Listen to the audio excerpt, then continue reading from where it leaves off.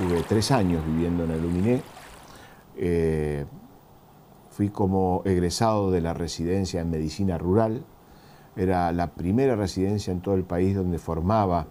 profesionales que tuvieran su desempeño en zonas rurales. Así que teníamos eh, que aprender no solamente medicina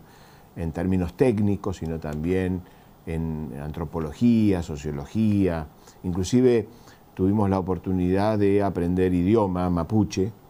porque en general donde iban destinados los residentes que,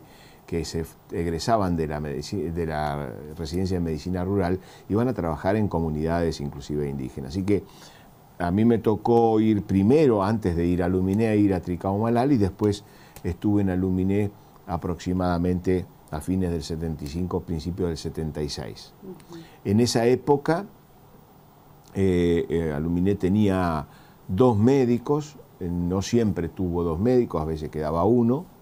este, y teníamos un hospitalito este, muy bonito, muy lindo, muy, muy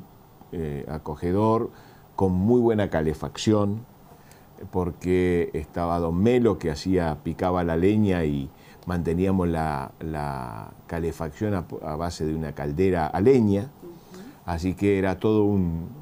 trabajo mantener el hospital calentito, eh, un hospital con,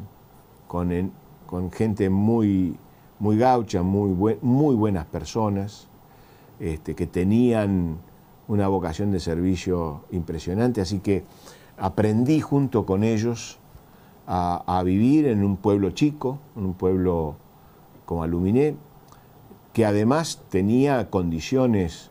este, no solamente profesionales, lo, más importante que he pasado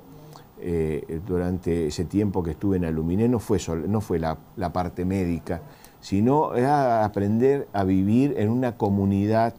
que mucho tiempo en esa época se aislaba. Con mi mujer, que era maestra, de la escuela de Aluminé, este, era maestra de séptimo grado, eh, y,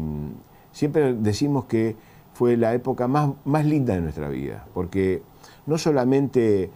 eh, eh, trabajábamos en lo que nos gustaba, en el área, en el tiempo que nos gustaba, sino también porque era